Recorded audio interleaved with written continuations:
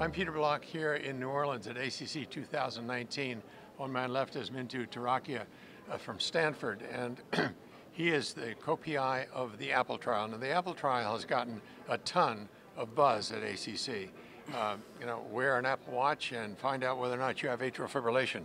Is that true or not true, Mintu? Well, the goal of this study, which was not actually a comparator trial, right. was to determine whether an algorithm that was developed by Apple could um, actually identify atrial fibrillation. And so what we wanted to do is to create a pragmatically designed study where we can enroll a large number of participants, have all of our study procedures be virtual, and then really determine if the algorithm uh, works by understanding who gets notified, how many of them get notified, what the performance characteristics are, and whether it's safe. Okay, so for somebody who doesn't wear an Apple Watch, how does it start?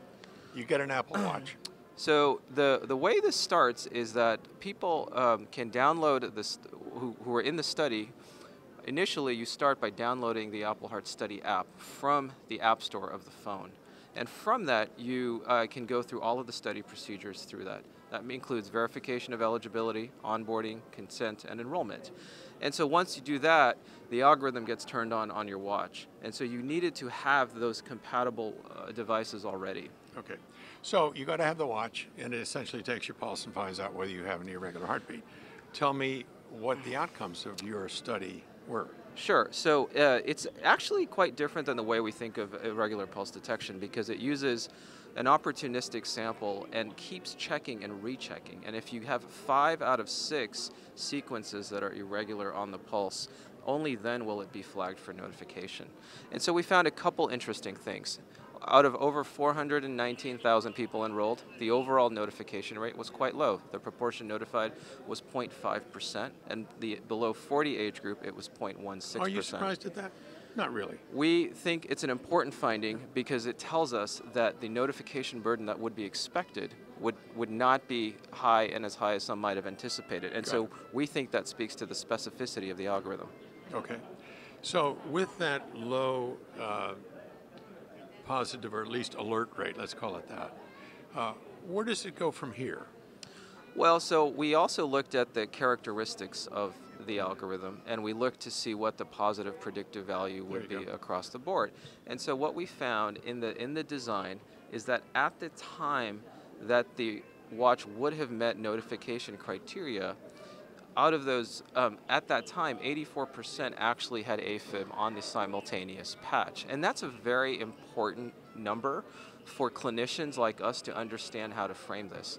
So where we go from here is really no different than when we are. This adds more contextual information to a clinician who might have a patient who comes in with a notification. They want to understand what was the context, circumstances, symptoms around the notification, but it fundamentally goes back to basics, good history, physical exam, risk factors. Yeah, but look, move forward to 2025. Yeah. Uh, do you anticipate everyone's going to have some kind of a monitoring device that monitors everything except uh, who knows what? Uh, so, what's going to happen with these kind of data? Is it going to be a situation where you say, you know, we need to screen first and then look, or is this a screen, uh, look first and then screen? Well, so uh, right now, this is step one. We're, I think, in the first half of the first inning on how these technologies very broadly enter our world, both as consumers, patients, and as clinicians. And so we're going to be seeing a lot of studies, a lot of clinical trials, some of which have been announced, um, to, to better understand how these get positioned and fit.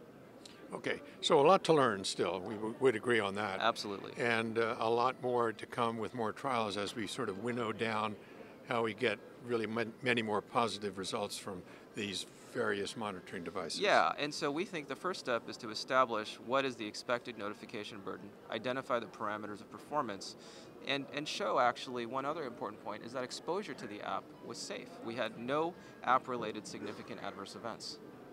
Fair enough. Thanks, Mintu. You're welcome. Thank you.